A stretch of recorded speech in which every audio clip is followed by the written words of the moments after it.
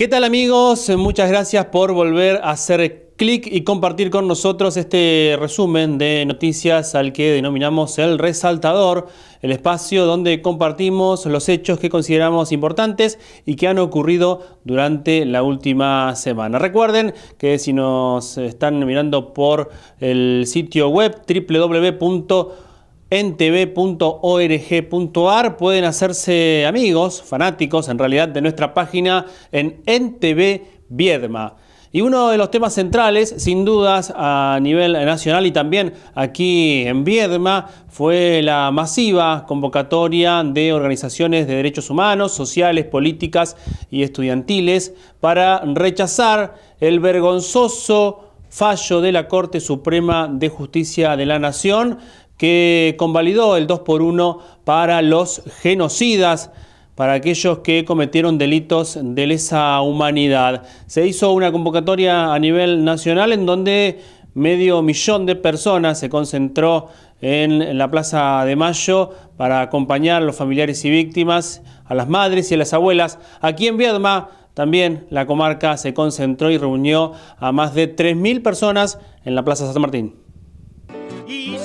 Rosati y Carlos Rosenkratz, que los senadores, desde sus respectivas estructuras políticas, designaron UCR, Unión Pro, Frente para la Victoria, PJ y otros. El fallo del 2 por 1 se ganó la advertencia del alto comisionado de las Naciones Unidas, quien les dice, los crímenes de lesa humanidad agravian no solo a las víctimas, sino a todos los seres humanos. Por ello, no pueden asimilarse a delitos comunes y su gravedad requiere de una sanción proporcional. No se pueden invocar disposiciones de derecho interno como justificación del incumplimiento de una obligación internacional. Si se atenúan las penas con fallos como este, se estaría ante una amnistía encubierta, cuando los crímenes de lesa humanidad no son amnistiables ni indultables es inconmensurablemente grave el impacto y devastación del lazo social que produjeron. Convirtieron a miles de personas en no nombradas, en desaparecidas, secuestradas, torturadas, encarceladas en los centros clandestinos y cárceles en condiciones inhumanas, robando y apropiándose de hijos y nietos, expulsando a miles al exilio exterior e interior imponiendo el miedo y el silencio. Esto no ha sido vivido para ser olvidado. No pudieron frenar los juicios y las condenas dictadas a lo largo de 10 años. Saben que los que están siendo juzgados y serán los próximos son ellos, los que no gobiernan, los dueños, los patrones, los responsables civiles y judiciales de la dictadura cívico-militar eclesiástica.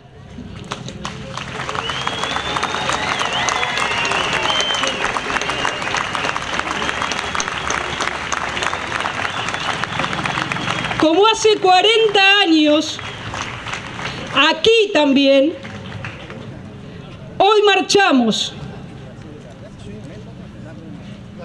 Y en un abrazo decimos, por acá no pasarán.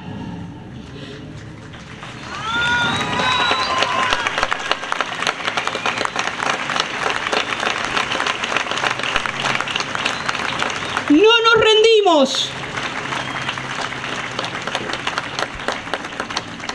No nos reconciliamos. No olvidamos y seguiremos luchando por más memoria, verdad y justicia.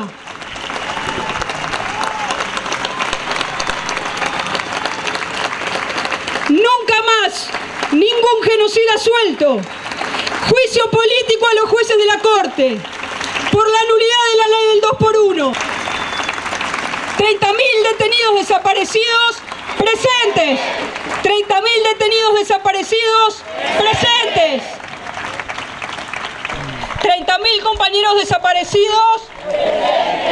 Ahora y siempre. Y los medios comunitarios, alternativos y populares del país, esta semana también tuvimos nuestra jornada de lucha. Fue el jueves, al cumplirse 500 días del decreto que derogó varios artículos de la Ley de Servicios de Comunicación Audiovisual y está poniendo en peligro la realidad y la continuidad de las radios comunitarias y los medios alternativos en todo el país. Una jornada de lucha que se denominó el microfonazo por el derecho a la comunicación. Aquí en Viedma, Radio Encuentro y en TV también realizó su protesta frente a las puertas de Elena el ente de comunicaciones. El primer decreto de Macri lo que hace es cambiar esta forma de, funcionamiento de los organismos que tienen que controlar, controlar y garantizar en realidad el derecho a la comunicación y eh, generan este NENACOM, que es un directorio absolutamente arbitrario, donde Macri puede poner y sacar a quien quiera y cuando quiera.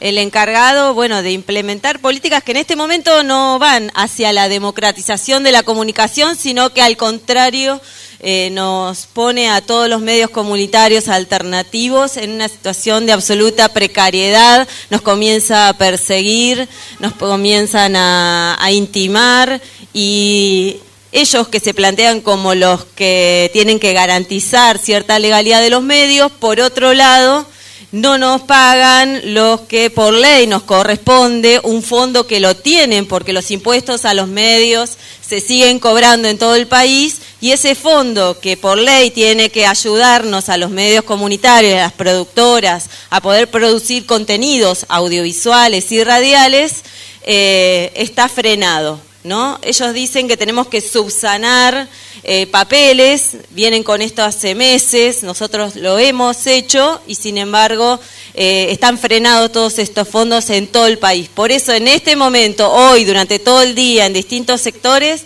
estamos movilizando todos los medios comunitarios en las puertas del ENACOM. No es que digamos, tenemos que hacer un contradiscurso, tenemos que hacer un discurso ante una realidad que es totalmente silenciada. ¿no? El gobierno nacional prefiere en este momento no hablar de cuál es su posición y su política de comunicación, porque no tiene cómo sostenerla, cómo argumentarla. Así que me parece que está bueno que nos pongamos eh, al frente de eso, en este caso hoy Radio Encuentro en TV, pero digamos cualquiera que quiera tomar esta posta, porque la comunicación es un derecho humano, eh, y, realmente eso lo aprendí, lo hice carne, lo hacemos carne todos los días, lo compartimos con un montón de personas con las cuales transitamos cotidianamente, de nuestra organización y de todas las organizaciones hermanas con las que compartimos acá en Viedma y Patagones. Y bueno, lo hemos hecho tanto carne que sabemos que lo tenemos que defender con el cuerpo, con la voz, con el micrófono. Y lo venimos eh, contando a lo largo ya de por lo menos tres semanas. Trabajadoras, trabajadores de la Secretaría de Niñez, Adolescencia y Familia, la CENAF, están reclamando por mayor presupuesto, denuncian un vaciamiento de los programas preventivos promocionales y piden por que se terminen las eh, condiciones de precariedad laboral que significan las becas en el Ministerio de Desarrollo Social de la provincia. El jueves instalaron una carpa que continuó hasta el día viernes en reclamo precisamente de mayor presupuesto y políticas claras en torno a lo que es el funcionamiento de estos programas preventivos promocionales y asistenciales. Hubo una importante reunión de la que participaron concejales de Viedma y trabajadores donde se interiorizaron los ediles, en realidad las ediles, concejalas Evelyn Rousiot y Mariana Arregui, sobre los motivos por los cuales los trabajadores están en la calle.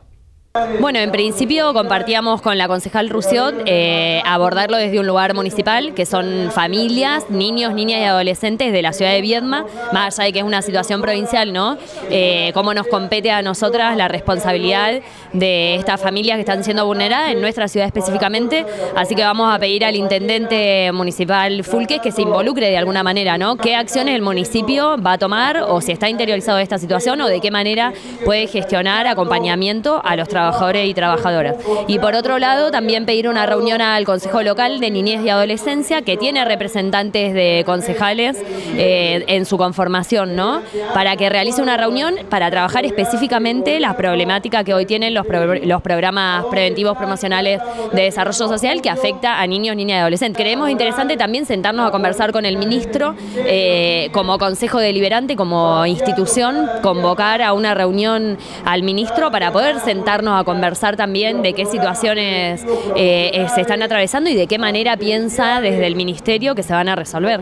Las juntas vecinales, escuelas que trabajan, eh, digamos, junto con nosotros, lo están haciendo prácticamente a voluntad. ¿No es cierto? No están existiendo en este momento eh, las normas legales que se requieren para poder llevar adelante los talleres que, que se hacen desde el programa Hueches y ECOS, que son hasta ahora los programas que nosotros tenemos eh, en los barrios. Eh, no existen convenios con las juntas vecinales. Em, los presidentes, sí, los presidentes de las juntas vecinales conocen a los compañeros, conocen los programas, siempre se han llevado adelante los convenios, con lo cual ellos apuestan a seguir llevándolos adelante por una cuestión de que eh, también es un pedido de la comunidad, ¿no es cierto? Las mismas familias de los barrios requieren eh, estos espacios. Nuestros pibes son los que eh, están pidiendo permanentemente estos espacios. Las situaciones que nosotros nos tocan abordar tienen una especificidad digamos, bastante delicada, es muy compleja la intervención eh, y nosotros a veces nos tenemos que abocar no solo en la intervención, sino también en la cuestión administrativa, de venir a pelear los fondos que tienen que tener los programas para, eh, por ejemplo, los viajes, poder eh, hacer el seguimiento en las comunidades terapéuticas, que tenemos nuestros chicos a veces ahí internados. y bueno, eso es un desgaste bastante importante, nos parece un destrato nos parece como de una explotación tremenda la situación de esos compañeros porque a veces esos compañeros además se ven precarizados su situación contractual. Entonces a veces con 4 mil pesos tienen que sostener las intervenciones y los viajes. ¿Hay todavía trabajadores que eh, no le han dado de alta la beca? Algunos compañeros se la habían dado de baja. Eh, tuvimos dos compañeros en instituciones proteccionales y después cuatro compañeros eh, en programas preventivos promocionales. Logramos que se den de alta. Hay como una disputa aparentemente entre la CENAF y el Ministerio, la conducción del Ministerio, y ahí quedamos los trabajadores y las familias y nuestros chicos en el medio. Y en relación con este reclamo de trabajadoras y trabajadores del Ministerio de Desarrollo Social de la provincia, visitamos uno de los eh, programas, eh, La Viruta, que funciona en el SEM 19 del barrio La Valle. Allí conversamos con trabajadoras y con trabajadores y también con algunos usuarios de este programa La Viruta.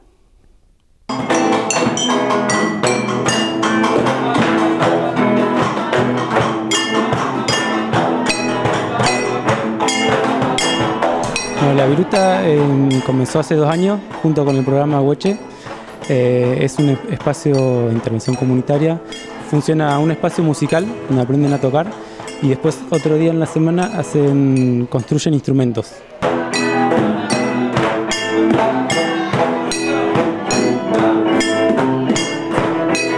Funciona acá en el CEM 19 porque el hueche funciona así, o sea, la idea es articular con escuelas o con eh, capilla o con juntas vecinales y bueno, y una de las cosas que está pasando ahora es esto, las autoridades de desarrollo social, por ejemplo, no están firmando los convenios con otras instituciones.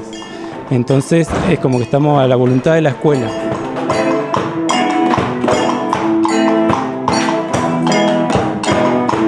Lo mismo chicos lo definen como un espacio de encuentro donde ellos vienen a compartir, más que nada y en ese ámbito y a través del arte se trabajan un montón de, contenidos que tienen que ver con eso, con la promoción de derechos.